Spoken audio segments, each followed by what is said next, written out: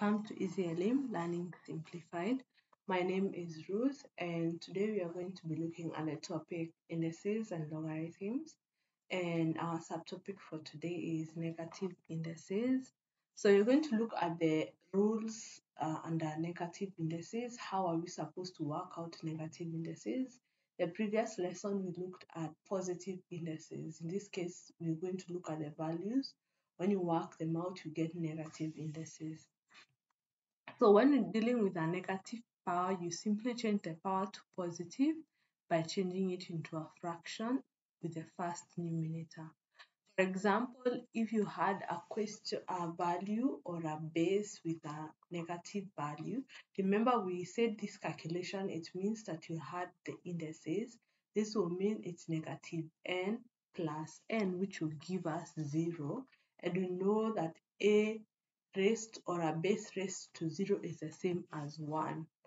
So if you work it out like a power n, if you divide, for example, both sides by a power n, and this other side by a power n, you end up having this value, a power 0 divided by a power n. So you get this value and we know power 0 is the same as 1. That's why we end up having 1 over a power n. So that's what we have said. So let's look at an example. For example, we have 2 power 3 divided by 2 power 4. We, we said when you have a division of um, values under the same base, that is indices under the same base, you subtract. So this is the same as 2 in bracket 3 minus 4 which gives you 2 power negative 1. So you see you get a negative value. So 2 power negative 1 is the same as 1 over 2 power 1 or 1 over 2 in simple terms. The negative 1 is a fraction. It's like a reciprocal value of 2 as we saw. So you see like in this case, a power negative n is 1 over a power n. So this is what comes in in our calculation. So let's do a few more questions. So we have 2 power 3 times 2 power negative 3. So we know if we have the same base indices under the same base with our multiplication we add. So this becomes 2 power 3 plus negative 3. So 2, 3 plus negative 3 gives us 0. So 2 power 0 is equals to 1. Remember we said that rule. And if you look at this fraction, so this fraction tells us that this is the same as 2 over 3 power negative 2. We can choose to like separate the numerator and the denominator or you can work on it like as a whole as one base. So if you work on it as one base, this becomes is the same as 1 over 2 over 3 into bracket power 2. This means it's 1 divided by 2 over 3 power 2. This is the same as 1 times 3 over 2 power 2, which gives us 3 over 2 power 2. You can go ahead and work this out, which gives us 3 power 2 becomes 9 over 2 power 2 which becomes 4. You can do this way or you work it out individually where you have 2 power negative 2, 2 power negative, uh, 3 power negative 3. So 2 power negative 2 means is 1 over 2 power 2 divided by 1 over 3 power negative power 2. So this is the same as 1 over 2 power 2 divided by 1 over 3 power 2. So this is the same as 1 over 2 power 2 times 3 power 2 over 1. You end up getting the same value. This is like 3 power 2 over 2 power 2, which is 9 over 4. So you see how those values have been integrated using the negative sign. Let's do another question. So we have this long question with the different bases. So the first thing we put the bases in the same, the similar bases together. So we start with 6 power 2 times any other base with 6, 6 times power 3.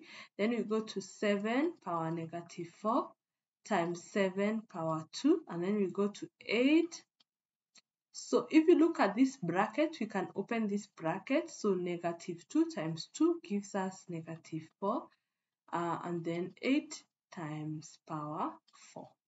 So we work it out. So 6 is the same as 2 power 3, the indices, times 7. So it's negative 4 plus 2.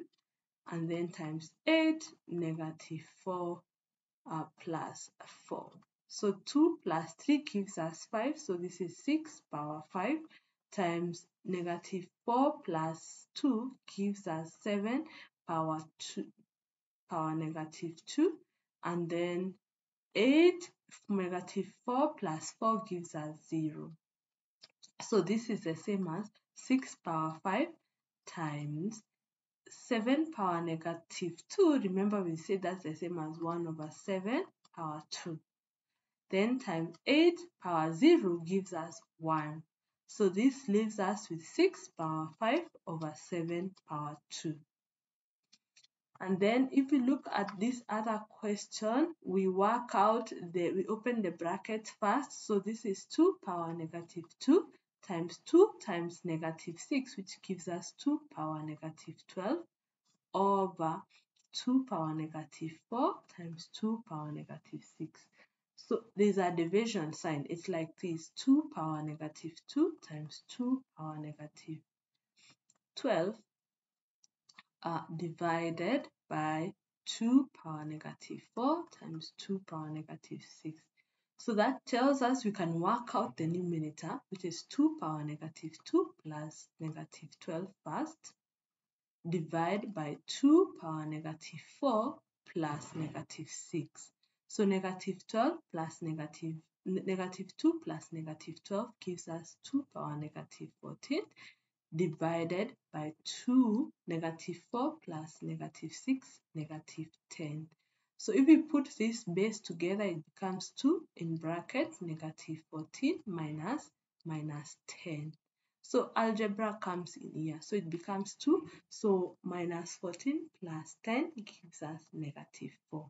So power negative 4, which is the same as 1 over 2 power 4. That is our answer. So we can also work out now this question. And remember this question, you can see we don't have the same base, so we have to make it the same base. So we have 3 power 2x minus 5 is equals to 27. So we need to get the factors of 27 which is 3 get 9 and then 3 3 so this is 3 power 3 so we put that in our question so it is 3 power 2x minus 5 is equals to 3 power 3 so this is the same as 2x if we take the index indices is equals to 3 so 2x is equals to, you take the negative 5 in the other side, becomes 3 plus 5. So 2x is equals to 8 divided by 2 divided by 2. So the value of x is equals to 4. So let's work this out. So we have 6 over 7 power negative 2 times 7 over 6 power negative 2. So then you can separate the values or work with them uh, together. So in this case, we can work them out together. So 6 over 7, so this is the same as 1 over the whole value, which is 6 over 7 power 2 times uh, 1 over 7 over 6 power 2.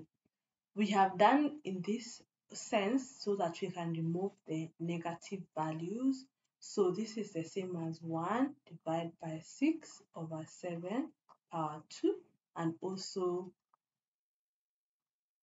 this is the same as 1 divided by 7 over 6 power 2. So this is the same as 7 over 6 power 2 times this is the same as 6 over 7 power 2 is this that you change the sign or you change the fraction or the direction of the fraction. So this gives us 7 power 2 times 6 power 2 divided by 6 power 2 times 7 power 2. So this is what we have. We can go ahead and what I did, I I multiplied them together. That is 7 power 2 over 6 power 2 times 6 power 2 over 7 power 2 this is the same as 7 times 6 or 7 power 2 times 6 power 2 over 6 power 2 times 7 power 2. So when you do the calculation, you notice 2 minus 2 because this is a division, this cancel out and also this cancel out to give us 1. So that's how we carry out uh, uh, negative indices and you can it can be put anywhere in your calculation. You should be able to work it out comfortably. Just remember a negative index means it's a reciprocal